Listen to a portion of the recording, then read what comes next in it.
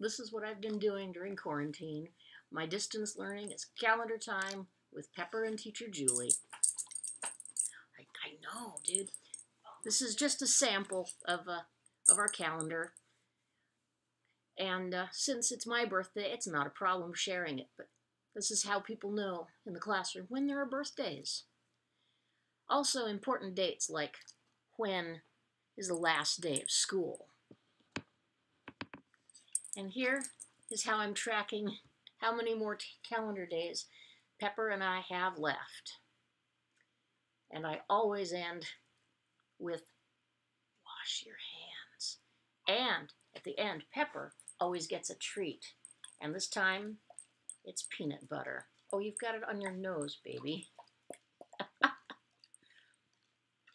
Basically because dogs and peanut butter are the best. The very best ever.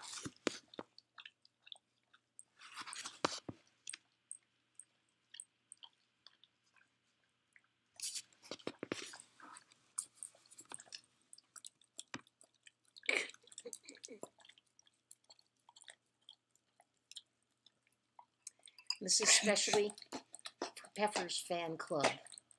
Don't choke, babes.